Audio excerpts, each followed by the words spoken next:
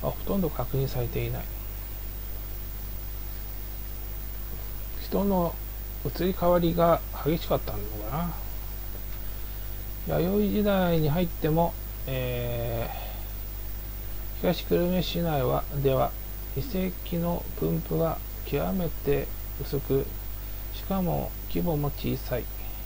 これは湧水群が水場である。私の大地奥部奥部深部の東久留米は、えー、水田に適した低湿地が少なかったためであるとも言われている。みんなお米が食べたかったんだけどここはお米なしでも食べ生活できるところだったんだけども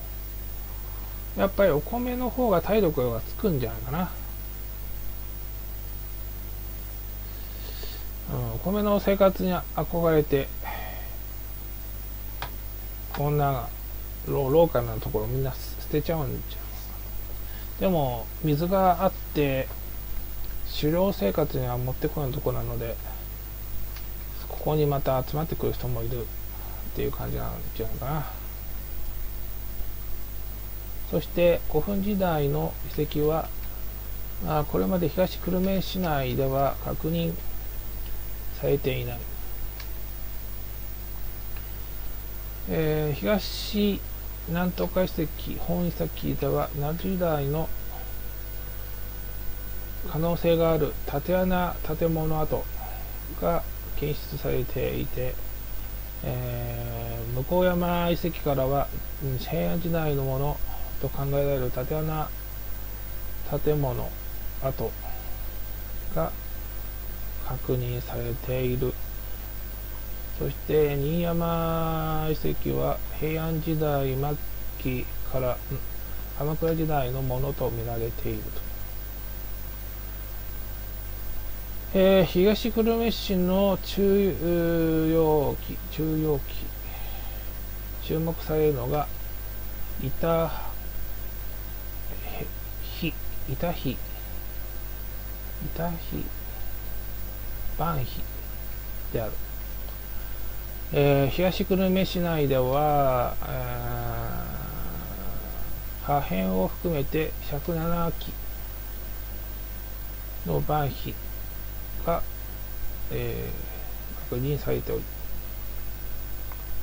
最古のものは1279年広高安公安広安9年のものである、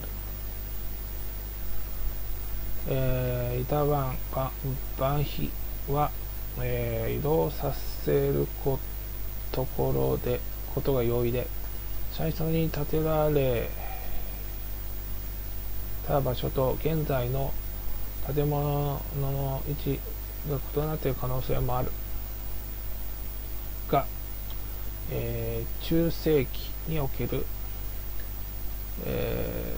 ー、東久留米の状況を示す貴重な資料資料であると。1444年、えー、文安文安元年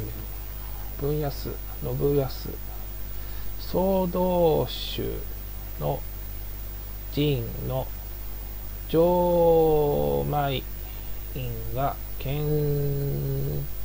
創建されたと伝えられたと伝えられている。会期は、えー、八王子城主の安なんとか公安祝い安祝い公。改ざんは、うん、なんかもう読みたくないよ。なんかもう考えたくない。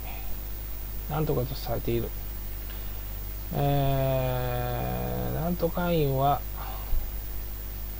徳川家康の江戸入部以降の、えー、1590年、天正18年、家康からあ衆院長が与えられている、えー、江戸時代には尾張徳川家の鷹城があり英明寺に前沢おでんまたは洋柳洋柳沢御殿と称する高狩りの宿女のおでんが作られた。わかんねえや。ここら辺は。えっ、ー、と、明治時代。明治時代、まあ、しえー、子孫、えー、思考に伴い、いろんなのができて、ここら辺は別にいいや。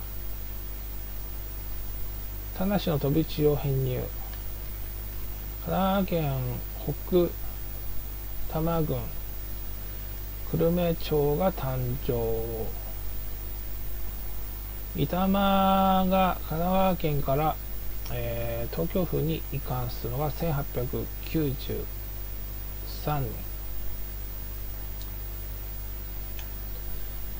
そしてかえー、っとね。1915年に、えー、武蔵野鉄道これ西武鉄道だね。ができると。